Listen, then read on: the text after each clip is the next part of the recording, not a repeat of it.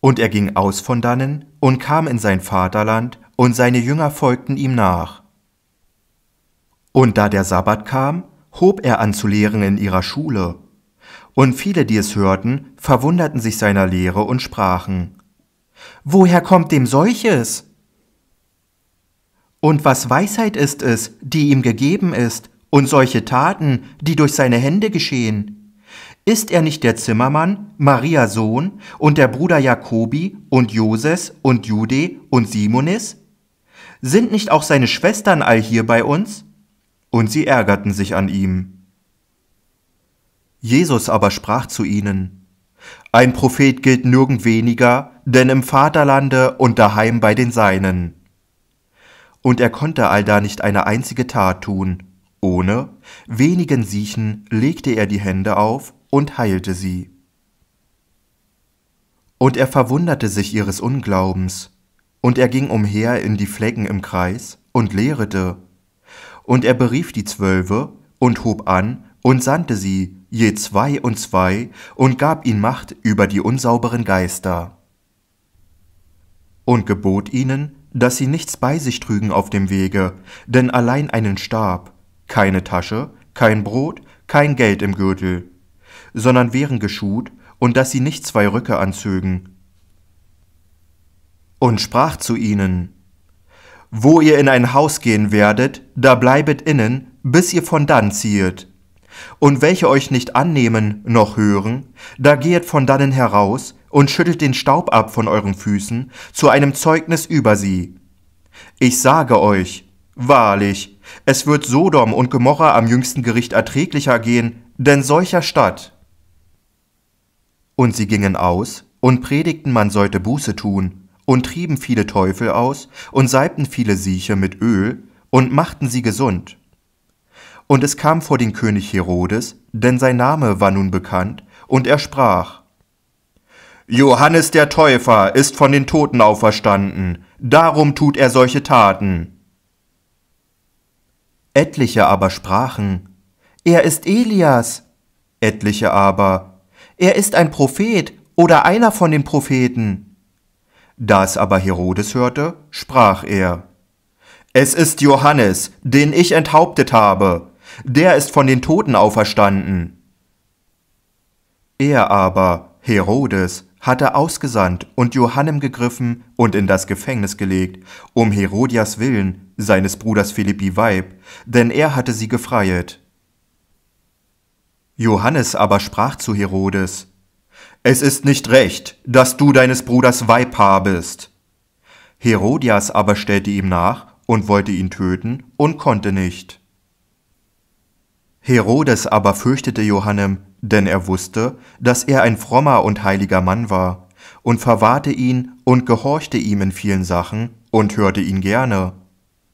Und es kam ein gelegener Tag, dass Herodes auf seinen Jahrestag ein Abendmahl gab, den Obersten und Hauptleuten und Vornehmsten in Galiläa.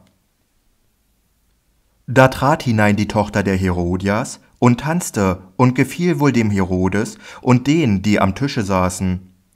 Da sprach der König zum Mägdlein, Bitte von mir, was du willst, ich will es dir geben, und schwur ihr einen Eid. Was du wirst von mir bitten, will ich dir geben, bis an die Hälfte meines Königreichs. Sie ging hinaus und sprach zu ihrer Mutter, Was soll ich bitten? Die sprach, das Haupt Johannes, des Täufers. Und sie ging bald hinein mit Eile zum König, bat und sprach, Ich will, dass du mir gebest jetzt sobald auf einer Schüssel das Haupt Johannes des Täufers. Der König ward betrübt, doch um des Eides willen und derer, die am Tische saßen, wollte er sie nicht lassen eine Fehlbitte tun. Und bald schickte hin der König den Henker und hieß sein Haupt herbringen. Der ging hin und enthauptete ihm im Gefängnis und trug her sein Haupt auf einer Schüssel und gab es dem Mägdlein, und das Mägdlein gab es ihrer Mutter. Und da das seine Jünger hörten, kamen sie und nahmen seinen Leib und legten ihn in ein Grab. Und die Apostel kamen zu Jesu zusammen und verkündigten ihm das alles und was sie getan und gelehrt hatten. Und er sprach zu ihnen, Lasst uns besonders in eine Wüste gehen und ruhet ein wenig, denn ihrer waren viele, die ab und zu gingen und hatten nicht Zeit genug zu essen. Und er fuhr da in einem Schiff zu einer Wüste besonders, und das Volk sah sie wegfahren, und viele kannten ihn und liefen da selbst hin miteinander zu Fuß aus allen Städten und kamen ihn zuvor und kamen zu ihm. Und Jesus ging heraus und sah das große Volk, und es jammerte ihn derselben, denn sie waren wie die Schafe, die kein Hürden haben, und fing an eine lange Predigt. Da nun der Tag fast dahin war, traten seine Jünger zu ihm und sprachen, es ist Wüste hier, und der Tag ist nun dahin. Lass sie von dir, dass sie hingehen umher in die Dörfer und Märkte und kaufen sich Brot, denn sie haben nichts zu essen. Jesus aber antwortete und sprach zu ihnen, Gebt ihr ihnen zu essen. Und sie sprachen zu ihm, Sollen wir denn hingehen und zweihundert Pfennig wert Brot kaufen und ihn zu essen geben?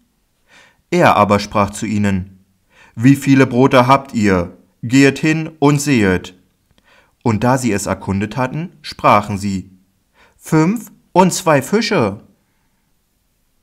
Und er gebot ihnen, dass sie sich alle lagerten bei Tischen voll auf das grüne Gras.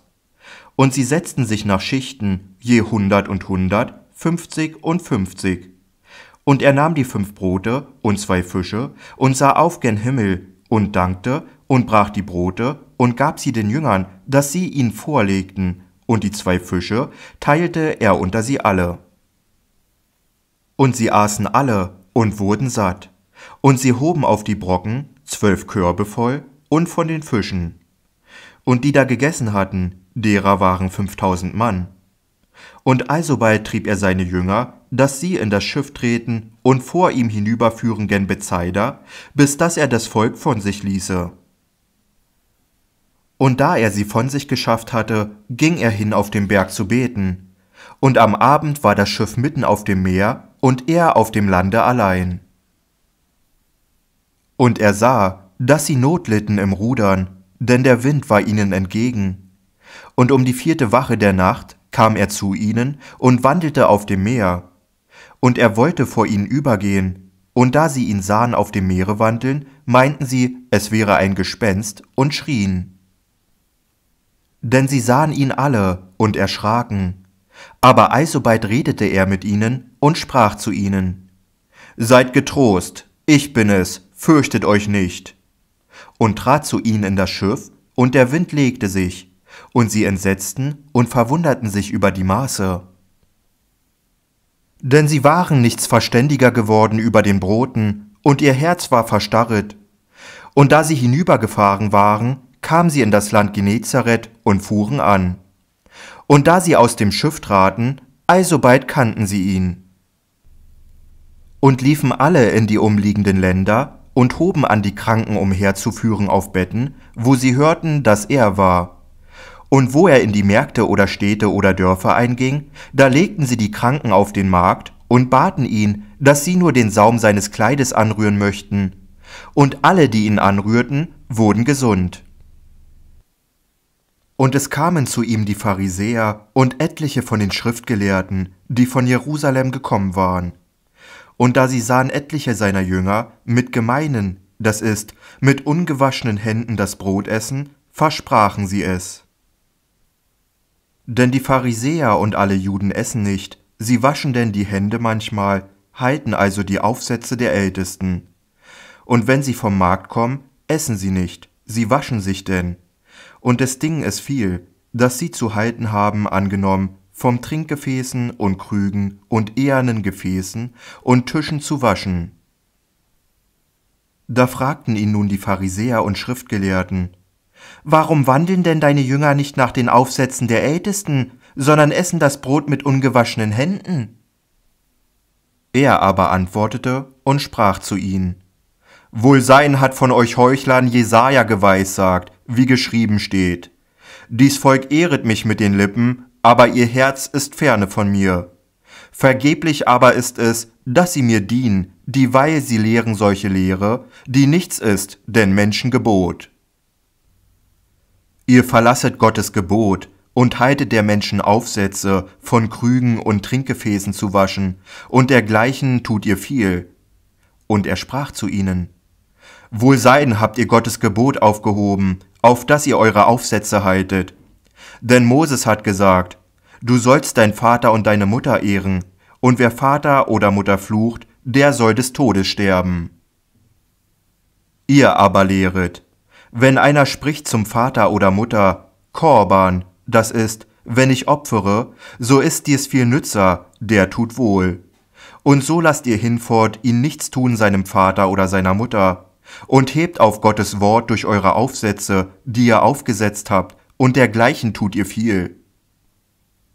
Und er rief zu sich das ganze Volk und sprach zu ihnen, Höret mir alle zu und vernehmet es. Es ist nichts außer dem Menschen, das ihn könnte gemein machen, so es in ihn gehet, sondern das von ihm ausgehet, das ist es, das den Menschen gemein macht. Hat jemand Ohren zu hören, der höre. Und da er von dem Volk ins Haus kam, fragten ihn seine Jünger um dieses Gleichnis. Und er sprach zu ihnen, Seid ihr denn auch so unverständig? Vernehmet ihr noch nicht das alles, was außen ist und in den Menschen gehet? Das kann ihn nicht gemein machen. Denn es gehet nicht in sein Herz, sondern in den Bauch und gehet aus durch den natürlichen Gang, der alle Speise ausfeget. Und er sprach, Was aus dem Menschen gehet, das machet den Menschen gemein. Denn von innen, aus dem Herzen der Menschen, gehen heraus böse Gedanken, Ehebruch, Hurerei, Mord, Dieberei, Geiz, Schalkheit, List, Unzucht, Schalksauge, Gotteslästerung, Hofart, Unvernunft. All diese bösen Stücke gehen von innen heraus und machen den Menschen gemein.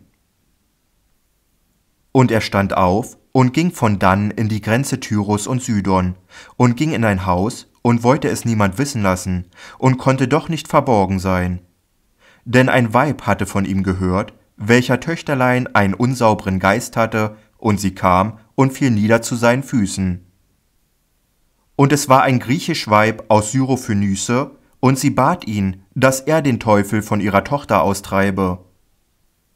Jesus aber sprach zu ihr, Lass zuvor die Kinder satt werden, es ist nicht fein, dass man der Kinder Brot nehme und werfe es vor die Hunde. Sie antwortete aber und sprach zu ihm, Ja, Herr, aber doch essen die Hündlein unter dem Tische von den Brotsamen der Kinder.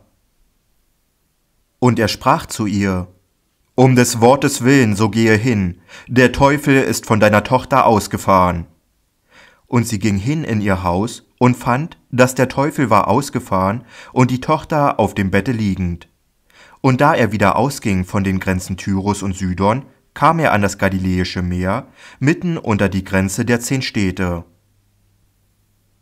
Und sie brachten zu ihm einen Tauben, der stumm war, und sie baten ihn, dass er die Hand auf ihn legte. Und er nahm ihn von dem Volke besonders und legte ihm die Finger in die Ohren und spützte und rührte seine Zunge und sah auf gen Himmel, seufzte und sprach zu ihm, He Vater, das ist, tue dich auf. Und alsobald taten sich seine Ohren auf, und das Band seiner Zunge ward los und redete recht. Und er verbot ihnen, sie sollten es niemand sagen. Je mehr er aber verbot, je mehr sie es ausbreiteten. Und verwunderten sich über die Maße und sprachen, Er hat alles wohl gemacht, die Tauben macht er hörend und die Sprachlosen redend.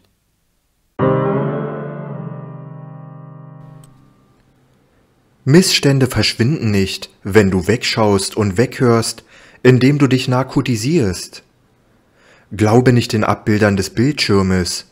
Sie bewirken, dass du auf Abwege gerätst, damit sich das Übel ungehindert ausbreiten kann. Durch den Bildschirm wirst du betäubt, damit du das Unheil zulässt. Merkst du nicht, dass du bereits in Flammen stehst? Willst du nicht erkennen, dass alles um dich herum zu Asche herunterbrennt? Kannst du nicht zwischen gesund und ungesund, richtig und falsch oder gut und böse unterscheiden. Bestelle das Fibelheft kostenlos und versandkostenfrei auf fibelzeit.de www.ftf.de